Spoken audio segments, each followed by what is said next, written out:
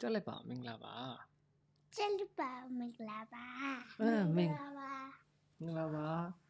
ကြွားလိုက်ပါစာဆုပ်စာရီလုံးဖြစ်လားပြီးတာပါမေးအောင်နော်ပါပြောအောင်နော် subscribe လုပ်ဖြစ်လားအဲ subscribe လုပ်ပြလားဟုတ်တယ်ပြီးတော့နေကောင်းပါစေနေကောင်းပါစေဟုတ်ပြီပြီးတော့နေပူရဲမထွက်ပါနဲ့အဲ့နေဘူးကမထွက်ပါနဲ့တာကြီးပြောလိုက်ပါနဲ့ဟုတ်လား အဲကန်ခနဲ့မဝင်ကြီးရေတော့ပါအာအေးဟုတ်ပြီကျေးဇူးတင်ပါတယ်အပူရှက်မှာဆိုလို့ပါအပူရှက်မှာဆိုလို့အေးဟုတ်ပြီဟုတ်ပြီကျေးဇူးတင်ပါတယ်ကဲဟုတ်ပြီအဲ့တော့ကျွန်တော်ရဲ့ဆရာကြီးတွေဆရာမကြီးတွေကတော့မှားသွားတယ်နော် alright ကျေးဇူးတင်ပါတယ်ခင်ဗျာနော်ဒီကောင်းမယ်နော်ဟုတ်ပြီအဲ့တော့ကျွန်တော်တို့နေကောင်းပါစေတဲ့အပူရှက်မှာဆိုလို့ပါတဲ့နော်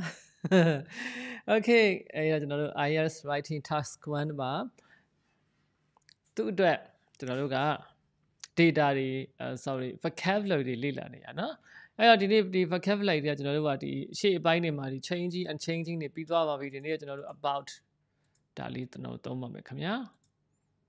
okay okay ဟုတ်ပြီတော့အဲ့တော့ about to over လို့ဆိုတာကျွန်တော်တို့ကဘာလဲဘလောက်လဲဘလောက်လဲအဲ့တော့ about 80 million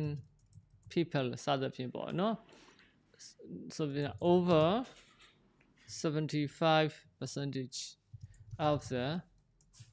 population ဒီလိုကျွန်တော်သုံးလို့ရမယ်နောက်ပြီးလို့ရှိရင်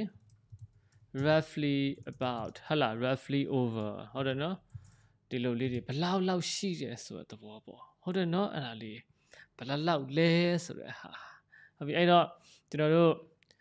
ဒီ vocab ကိုပဲအသေးစိတ်သွားနေလို့ရှိရင်ကျွန်တော်တို့ဟိုပြဿနာရှိပါတယ်เนาะပြဿနာရှိပါတယ်ဒါကြောင့်ကျွန်တော်တို့က vocab ချီလုပ်နေလို့မရဘူးနမူနာလေးနဲ့သွားရမယ်ဟုတ်ပြီအဲ့တော့ roughly တို့ approximately တို့ဆိုတာကျွန်တော်တို့ဘယ်လောက်လောက်ရှိတယ်ပေါ့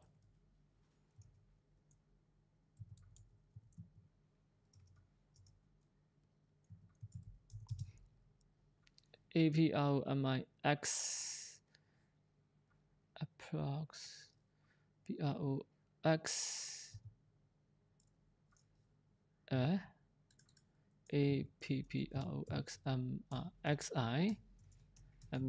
alloy, a plastic metal. No? Okay, no, I'll be no. Okay,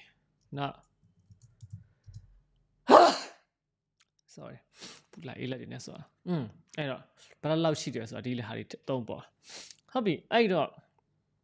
အပေါ်ကဒီမှာ about တို့ over တို့ roughly တို့ approximately တို့ around တို့ကတော့အများစုသိကြလိမ့်မယ်ဟုတ်ပြီဒါဆိုရင်ကျွန်တော်တို့ကအခုဒီ SURP SSING surpassing ဆိုတဲ့ဟာလေးအဲ့တော့သူကဘယ်လိုလဲဆိုတော့ကြော်သွားတယ်ဆိုတဲ့သဘောအဲ့တော့ဒီမှာကြည့်ကြည့်ရအောင်အောက်ဆုံးဝက်ကြမှာကြည့်ပါ Predictions indicate a steady rise, surpassing 50% in 2040. ဒါဆိုရင်သူက 2040မှာ90ခန်းတို့ကျော်သွားပါတယ်ဆိုတာကို SURPASSING နော် surpassing ဆိုတဲ့သဘောလေးအဲ့စကားလုံးနဲ့သုံးထားတယ်အရန်ကောင်းပါတယ်အစင်မြင့်ပါတယ်ဒါသုံးပါ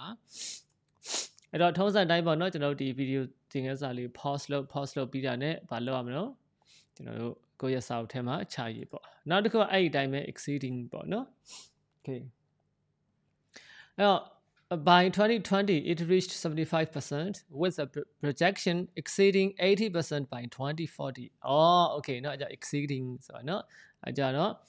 ကြ surpassing နဲ့ exceeding ဆိုတာကျော်သွားတယ်ဘယ်လောက်ကိုကျော်သွားတယ်ဆိုတဲ့ဟာသုံးတာပါအရင်ကောင်းပါတယ်ဒီစကားလုံးနှလုံးကိုအသုံးပြုပါ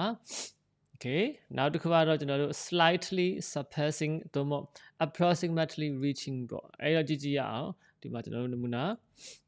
နမူနာထဲမှာရှိပါတယ်เนาะဒီနမူနာထဲမှာကျွန်တော်ရေးထားတာတော်တော်ကောင်းပါတယ်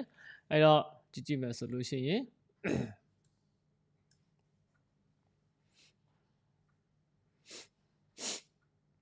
slightly surpassing 7000 in 2013လို့ပြောထားတယ်เนาะဒါလေးသုံးထားတယ် now Okay, no, I know with figures approximately reaching 6,000 in 2012. ဟုတ်ပြီနော်ဒါဆိုရင်အဲ2012မှာ6000လောက်ကိုရောက်သွားတယ်ဆိုတော့ approximately reaching လို့သုံးထားတယ်နောက်ပြီးတော့နည်းနည်းလေး9000ကျော်သွားတာကို slightly surpassing လို့သုံးထားတယ် အမြင့်ဆုံးရောက်သွားတာကျတော့ဒီမှာ peaking at ဆိုပြီးတော့เนาะ peak at ပေါ့เนาะဒါကတော့ဟိုအပေါ်အိုးအိုးရှေ့မှာကျွန်တော်တို့အမြင့်ဆုံးတို့အောက်အောက်ဆုံးတို့ကျွန်တော်တို့သင်ခဲ့ပြီးပါပြီเนาะအနေဆုံးတို့သင်ခဲ့ပြီးပါပြီအဲ့တော့ဒီမှာအဓိကပြောချင်တာကတော့ exceed exceeding ရယ် surpassing ရယ်เนาะเนาะဒါလေးတွေ okay ဟုတ်ပြီဗျအဲ့တော့ကျွန်တော်နောက်တစ်ခုသွားမယ် M A N Y many a lot เนาะအများကြီးဆိုတဲ့ကိစ္စ a wealth of a wealth of ဆိုတော့ကျွန်တော်တို့အများကြီးကောင်းတဲ့ကိစ္စကိုပြောတယ်နမူနာအနေနဲ့ a wealth of best friends ဒါကောင်းတာမျိုးအများကြီးဒါပေမဲ့ဆိုတာ လိုအပ်တာတဲ့ပို့တာ a lot of sorry a plethora of books about general general awesome နမူနာပေါ့ဘိုးကျောင်းဆန်းအကြောင်းစာအုပ်တွေကလိုအပ်ထားတဲ့ပုံများနေပြီတော်ရပေါ့ဗျစာအုပ်90ဆိုတော့လုံးအခုစာအုပ်တွေအပေါင်း280လောက်ရှိနေပြီနမူနာပြောပြတာပါเนาะအဲနမူနာပြောပြတာอืมနောက်တစ်ခုကတော့ a bunch of a bunch of ကတော့ကျွန်တော်တို့ ပန်းစည်းဆိုလဲအဲ့လိုပဲဟုတ်တယ်เนาะ a bunch of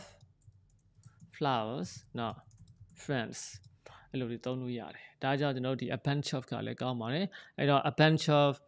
အာကျွန်တော်တို့ဟိုဟာထဲမှာဆိုရင်စာအုပ်ထဲမှာဆို a bunch of bus stops can be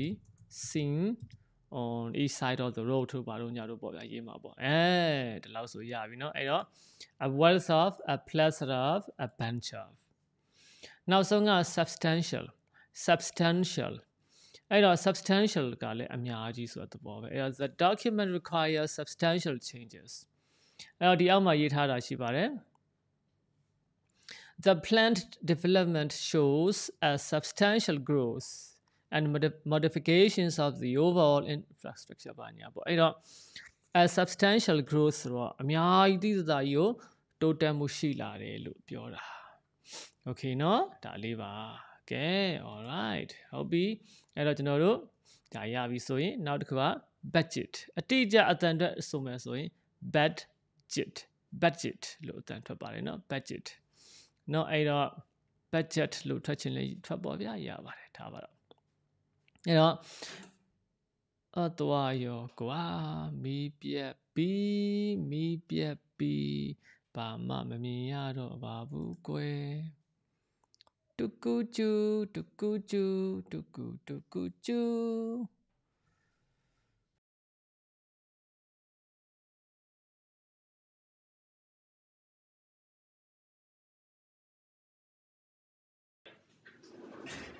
ပြီးပြက်ပြီးမီးပြက်ပါပြီကွယ်